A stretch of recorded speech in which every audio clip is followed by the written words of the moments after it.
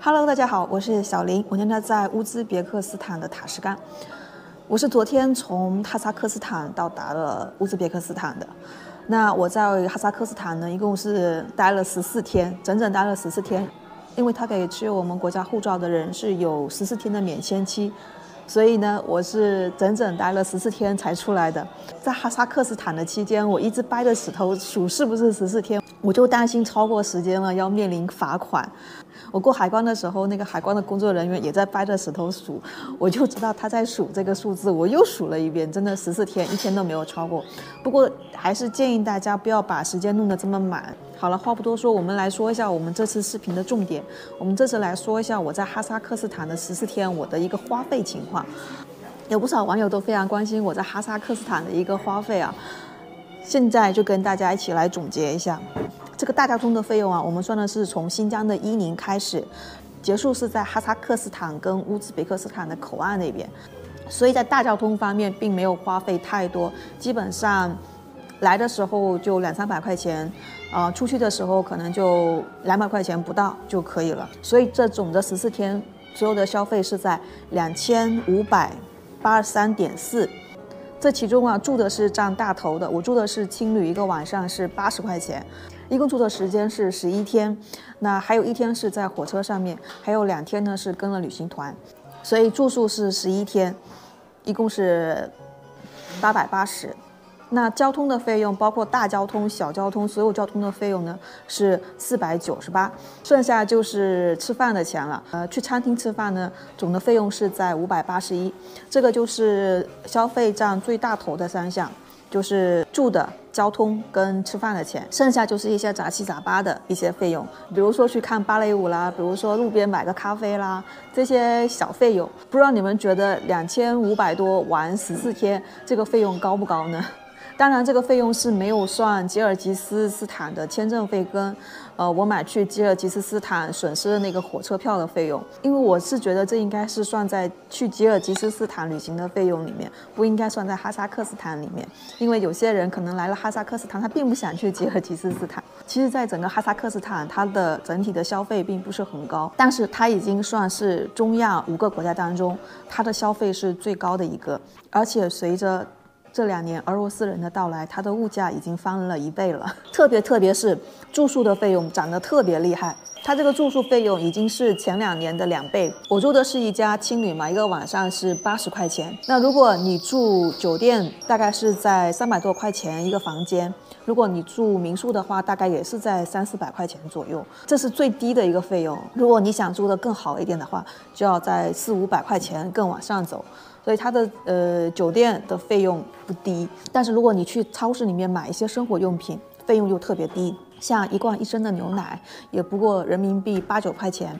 像肉类，特别是排骨类的东西，像牛排、羊排就特别低。我记得羊排一斤也就十几块钱，十七块钱左右，牛排也是差不多这个价位。他们的。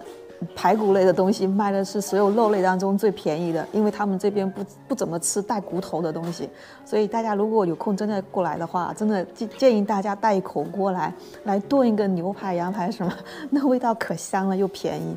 那在哈萨克斯坦在外面餐厅吃饭呢，呃，费用基本在三十块钱到五十块钱人均啊，就是一般的餐厅。如果您要去比较高级一点的餐厅呢，费用大概是在一百多块钱一点，所以这个费用并不是很高，跟国内比起来。的话并不是很高，国内的话就是一般的餐厅都是在一百多块钱，好一点的餐厅呢可能就是两百三百往上走了。他们那边的交通其实是非常便宜的，打车跟国内打车比较低的城市有一点相似，大概起步价就是在七块钱六块钱左右，距离越远越划算。我记得我最后一次打了一趟车是从青旅打到他们远的一个火车站。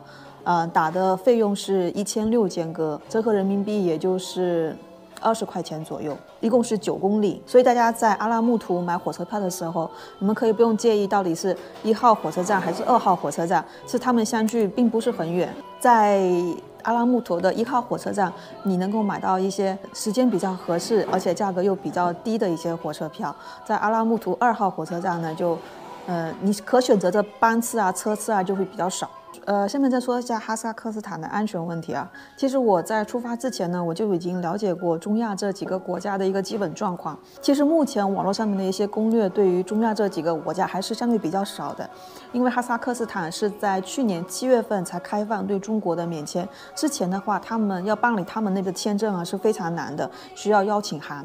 然后中亚这几个国家，它的人民都是非常热情、非常友好的，就是在安全方面，你们可以不用太太。过于担心，当然没有一个国家会像中国那么安全。整个旅行的最大的难度就是语言问题，因为这几个国家基本上是比较少的说英语。那说英语的人呢，也仅仅限于跟游客接触比较多的人，像这个酒店或者是青旅的前台，还有旅行团的导游，导游也仅仅只会说一点点日常的英语，他没有办法用英语去介绍一个地方。所以来这边啊，一定要下载翻译软件。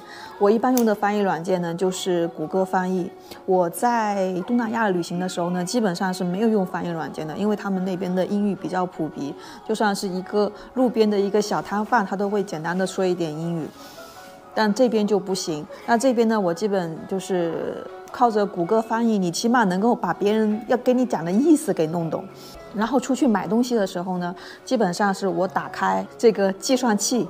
让他按这个价格，这样的话就会比较清晰明了。所以我在哈萨克斯坦这十四天，总的消费在两千五百多，然后平均每一天的消费呢是在一百八十块钱。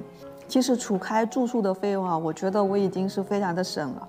那基本上呢，我是两三天到餐馆里面去吃一次大餐。说是大餐啊，其实人均也不过三十到五十块钱。平时呢，一天呢，我是吃两顿饭，早饭跟午饭我是合起来吃的，因为我起床呢可能比较晚，因为我前一天晚上剪视频剪的比较晚，早上起来比较晚，我会早饭跟午饭呢一起吃吃的比较多，会自己做做一点煎蛋、咖啡、牛奶、面包，还有一点黄瓜，然后再切一点火腿。如果还饿的话，可能我会煮一个麦片粥。然后呢，就是在下午六点钟的时候呢，我会去吃晚餐。哈萨克斯坦的特产啊，就是他们的巧克力，就是有一个蓝色的，他们把国旗印在上面的那个巧克力，呃，特别的便宜，那一大块，呃，人民币大概十块钱左右，味道跟我们的德芙非常的像，呃，而且还有出一些无糖版的和高可可度版的，我觉得，呃。过来，如果过来的话，可以尝试一下。甚至啊，如果你过来，还可以买一点巧克力带回去，给你的朋友们一起分享。这次我去哈萨克斯坦，并没有去太多的地方转悠，基本也就在阿拉木图跟阿拉木图周边。因为呃，其实阿拉木图是很能够代表哈萨克斯坦这个地方的。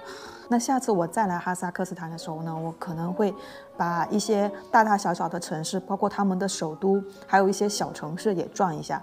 很多人对穷游这个概念理解不一样，他们总觉得既然出来玩了，为什么要亏待自己？啊，如果像我以前的话，我有在工作，如果是一年偶尔出来玩个几天，那我是可以住很好的酒店，我可以吃的很，每天都吃的很好，每天把自己安排满满的。但问题是我现在是长期出来旅行，所以就要把每天的费用、每天的开支，甚至于一个月的开支控制在自己能够接受的一个范围。